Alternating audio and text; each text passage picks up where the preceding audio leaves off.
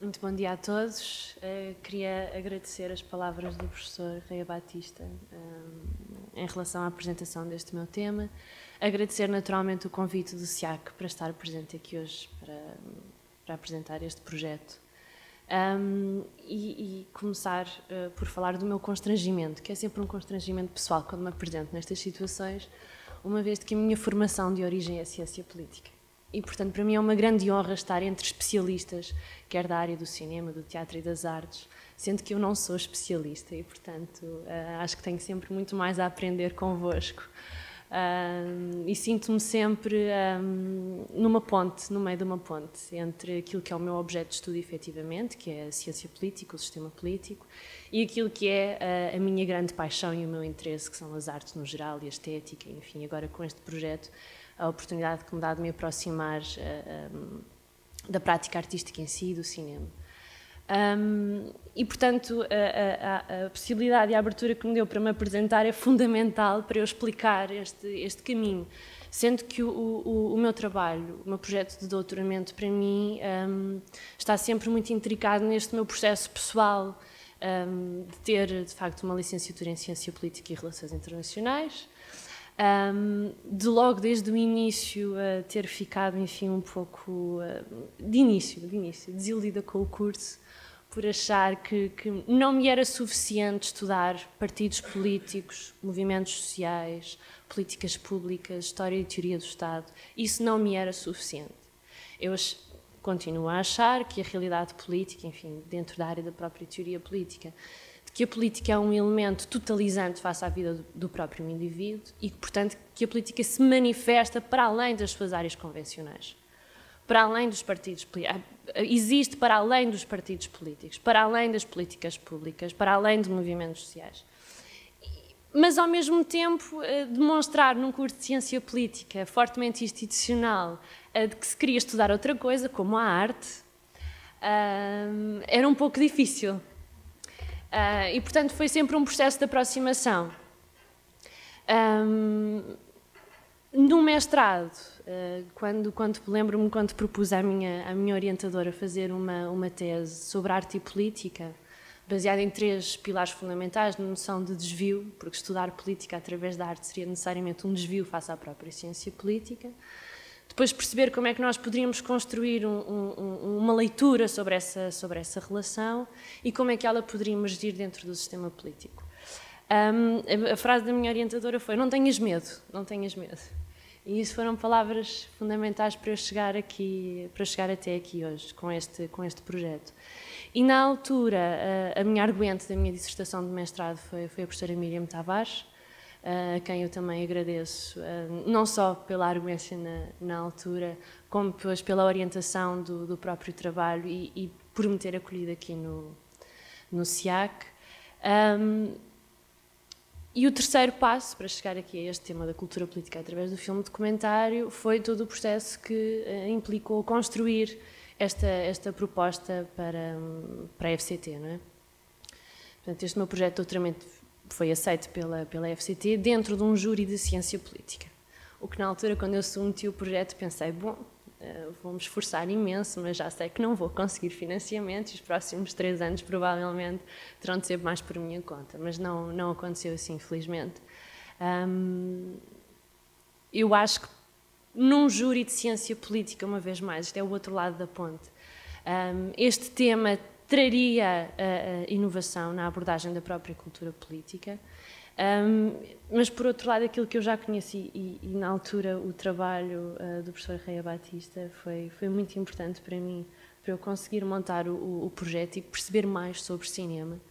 Um, porque se aquilo que eu comecei na tese de mestrado foi por um discurso essencialmente teórico entre estética e política, no doutoramento achei que precisava de algo mais empírico, de ir, de ir à própria produção em si, e, e, achei que o documentário me permitiria uma coisa que, enfim, que eu espero que depois no doutoramento que eu no fim consiga alcançar, que é pensar as próprias bases metodológicas das ciências sociais, nomeadamente dentro da ciência política, que é uma das grandes discussões. É um, há dentro da ciência política uma, uma, enfim, uma tradição uh, muito ligada à própria historiografia e à própria sociologia, para uh, um, chegarmos a resultados quantificáveis, ou seja, percebermos os comportamentos políticos através da quantificação. A estatística aqui está muito, está muito presente, mas ao mesmo tempo eu achava que lhe faltava a parte cultural. E, portanto, eu acho que o filme documentário, pelo, pela, pela sua atividade de registro, de procura, de inventariação da própria memória social, como, estava, como estávamos a falar aqui inicialmente, poderá trazer uma nova interpretação sobre a política, ou pelo menos da teoria política, uma, uma nova compreensão desta ligação que para mim é fulcral entre cultura e política. Então, desde, enfim, para falar agora um pouco do, do, do projeto, em si. Uh, a questão fundamental, a questão de partida que esteve, que esteve para este projeto foi tentar perceber de que modo se manifesta então o poder e de que forma é que uh, essa manifestação do poder e a expressão da cultura política se constituiu como área sensível através do campo cinematográfico. Isto nunca esquecendo que o meu propósito não é elaborar nem uma história do filme documentário em Portugal, sendo que isso será um instrumento, nem, portanto, nem uma história do cinema documental em Portugal, nem, nem um contributo para uma estética do próprio cinema, porque essa não é a minha área. O que eu quero é perceber é o cinema enquanto instrumento, a produção de filme documentário, para caracterizar a evolução da cultura política em Portugal. Um, mas, bom, é preciso então perceber o que é que é a cultura política, não é? do ponto de vista da ciência política. Os primeiros estudos sobre cultura política, que enfim estão datados de finais dos anos 60, inícios dos anos 70, tem muito que ver com a, a terceira vaga de democratização que se iniciou com, com, o caso português e, portanto, a cultura política tenta explicar a forma quais os valores, as atitudes e as crenças que estão uh, na base e que contribuem para a consolidação de uma democracia. Portanto, estão ligados aos movimentos de transição democrática. Mas o que mais uma vez essa linha de, de, cultura política e de cultura cívica, como o professor falava bem, o que tentam estudar são a afirmação dos valores mais próximos valores democráticos, a expressão uh, desses mesmos valores políticos no, no, no sentido partidário, no sentido institucional, quer do Estado, quer das políticas públicas, mas não vão àquilo que é o, que é o prefixo daquilo que se procura estudar, que é a cultura. Um, portanto, questões ligadas a, a, a, quer ao cinema, quer às práticas culturais, quer a posições em relação à própria sociedade, à família, ao trabalho, um, são questões que não têm, às quais não têm sido dedicadas tempo e atenção e investimento. E, portanto, eu achava que teria que, que para promover este estudo, teria que, ou terei que investigar sobre as matérias não convencionais da própria ciência política. Um, e, e, e, também como tem que ver também com portanto, o acompanhamento deste processo de transição e consolidação democrática em Portugal, tendo este referencial de cultura política, tentando buscar este instrumento, como eu já disse, não convencional da política, portanto, a prática cultural e a memória social, como é que eu cheguei aos filmes de documentário? Bom, tenho muito preciso ainda na minha, na minha memória, estava na licenciatura e, e na Faculdade de Ciências Sociais e Humanas organizou-se um, um, colóquio um, sobre Karl Marx. E uma das apresentações uh, foi exatamente sobre o Torre Bela. Um, e foi um filme uh, que na altura me, me, marcou, porque, quer dizer, sou de outra geração, já sou não vivi o 25 de Abril. Uh, e, portanto, aquilo foi uma forma de construir memória. Aquele filme. Um, e ele sempre andou aqui dentro da minha cabeça. Não sei muito bem explicar-vos como, mas uh, como um substrato de inconsciente, quase. Um, e eu acho que foi esse filme também que esteve depois na origem deste, deste projeto de, de, de doutoramento. Mas isto para explicar uh, aqui esta, a, minha, a minha proposta de divisão temporal para análise dos próprios filmes documentário, um primeiro bloco de 74 a 76, onde de facto há um conjunto, e são aqueles que eu, por enquanto, nesta primeira fase mais me, me tenho debruçado, que são os filmes que são produzidos na altura do PREC, filmes realizados pelas cooperativas, não é? Cine Quanon, a Cine Equipa, o Grupo Zero, que enfim também têm sido, neste, no mês de Abril, foram, foram revisitados na, na, na Cinemateca e muitos dos, dos, realizadores foram convidados, portanto também foi uma boa oportunidade para ver aquelas pessoas uh, uh, ao vivo e poder falar e, e recolher uh, os seus testemunhos. Depois a minha outra proposta de divisão temporal de 76 a 82 tem a ver politicamente, em termos de análise política, de uma segunda fase no processo de transição democrática e de consolidação. Uh, e a terceira proposta, de 82 a 2012, enfim, ainda é aquela.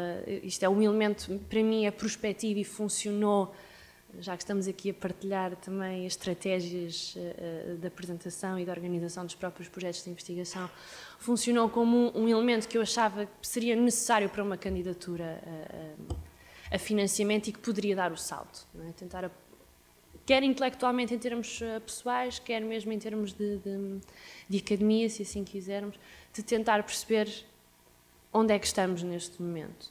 Um, e é uma terceira fase muito demarcada das duas anteriores, porque é uma fase em que os próprios, enfim, estejam à vontade para me corrigir se eu estiver a dizer uma barbaridade, mas daquilo que eu, que eu comecei a investigar, me parece que, que esta terceira fase corresponde a uma introdução uh, uh, do ensino artístico e do, do, ensino do cinema nas próprias universidades e nas escolas secundárias, e depois, por outro lado, uma, talvez uma mais recente que tem que ver com, de facto, a internacionalização do cinema português.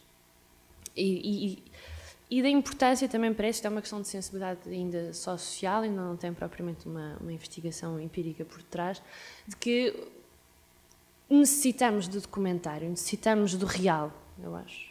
Mais do que próprio. Acho que já passámos a fase da, da ficção e do imaginário. Uh, também muito propiciada pela crise. A crise não é só uma, uma questão de uma crise conjuntural, é uma, neste momento é uma crise sistémica, ou seja, ultrapassa o caso português, o caso da Espanha, da Itália. Portanto, talvez estejamos politicamente numa nova, numa, numa possibilidade de uma nova configuração do próprio sistema político e, portanto, eu senti a necessidade de estender esta, esta análise temporal, sendo que nesta fase aquilo que é mais a minha dedicação é este primeiro período de 74 a 76, onde de facto o registro, o aceder à memória é uma coisa extraordinária. Nessa, agora partilho, partilho convosco, nessa, nessa retrospectiva que a Cinemateca fez este, neste mês de abril, um, estiveram presentes alguns dos realizadores e uma, um, um, facto extraordinário era que eu tinha ali à frente aquelas pessoas que fizeram parte daquele processo, que andaram pelo norte a sul do país, ilhas incluídas, a recolher uh, os testemunhos das, das populações e o fator interessante para mim foi aquelas pessoas que começavam a sua, a sua comunicação por dizer: Bom, eu já não me lembrava muito bem disto. Eu acho isto uma coisa extraordinária, porque quem fez parte do processo, acompanhou o processo ao longo de dois anos pelo menos, não é? aquilo marcou de facto as suas vidas, contactaram com imensa gente e todos eles diziam: Já não me lembrava bem disto. E isto, para mim, enquanto investigadora social, é uma coisa que hum,